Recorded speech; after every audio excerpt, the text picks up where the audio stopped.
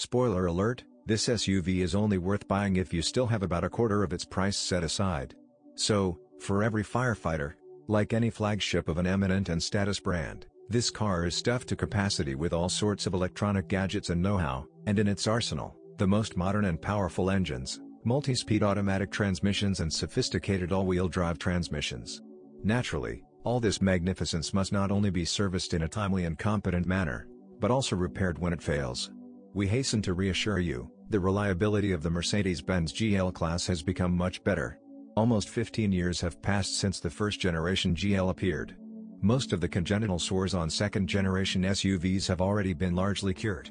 Nevertheless, complex and technically advanced components and mechanisms are initially demanding for quality service. For example, all engines in an SUV are exclusively turbocharged and direct fuel injection, with both gasoline 3.0 V6, 333 power, and 4.7 V8, 435 horsepower, and 3-liter V6 turbo diesels with a capacity of 258 strength.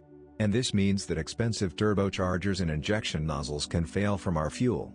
And they do, although not as often. Gasoline engines at risk have a crankcase ventilation system, EGR, which must be periodically cleaned, a generator, converters, oxygen and mass airflow sensors, as well as a timing chain and phase shifter fluid couplings.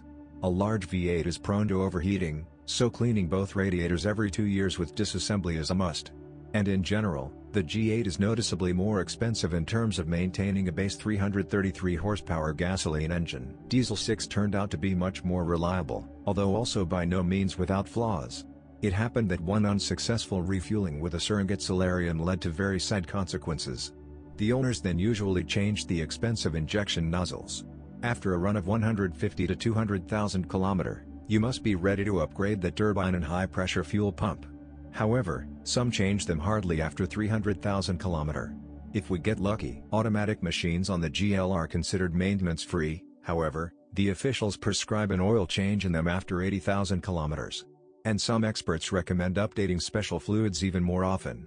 And in this we are in complete solidarity with them. In general, a 7-speed hydraulic automatic is considered quite reliable, and for all the time it has been upgraded a dozen times, although exacerbations do occur from time to time. Therefore, the revision of the box is required. When buying a used SUV, an all-wheel drive transmission diagnostic is also required. Particular attention should be paid to gearboxes, drives and transfer box. By the way, it is also desirable to change the oil in them every 60 to 80,000 kilometers. Otherwise, the replacement of each of these transmission elements will pull on an impressive amount. Please note that after 150,000 km it will be time to change the cardan crosses and the outboard bearing. Moreover, it comes exclusively assembled with a cardan shaft. True, there are many proposals on the market for replacing these consumables separately. Mercedes-Benz GL Class was equipped with their suspension. It is the air springs in it that are the most vulnerable spot. And more often the rear ones fail. And they are usually replaced in pairs. Important, as soon as you realize that these elements are out of order, do not delay the replacement. Worn cylinders will quickly finish off the rest of the suspension parts. And shaking up the entire chassis is very expensive. GL is quite possible to take with hands, but not for the last money. And be sure to diagnose all systems. Do not chase the top versions of the SUV. After all, even with the base V6, it has excellent dynamics. In addition, the 6 is a priori cheaper and more reliable. The most trouble-free is considered a turbo diesel.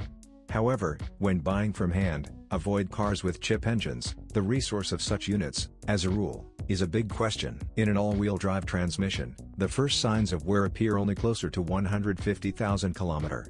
In addition, most GL class owners do not leave the asphalt at all. Nevertheless, pre-purchase diagnostics, to put it mildly, is desirable. Otherwise, the burden of restoring an expensive 4x4 system may fall entirely on your shoulders. In the running gear, from congenital sores, one can single out wheel bearings that fail, for 30 to 70,000 km, which change as an assembly with the hub, front levers with ball bearings and silent blocks, as well as rear levers for setting camber and toe angles. New moments usually serve 90 to 120,000 km, although sometimes they wear out before their due date. The body of the SUV is very resistant to corrosion, and the paintwork is quite strong.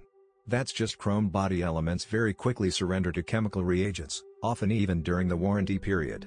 Sometimes door handles break, and the door opening mechanism wears out quickly, ceasing to perform its functions. Crickets start up in the cabin, and with age there are more of them. To say that the GL class is stuffed to the eyeballs with electronics is to say nothing. She's just everywhere.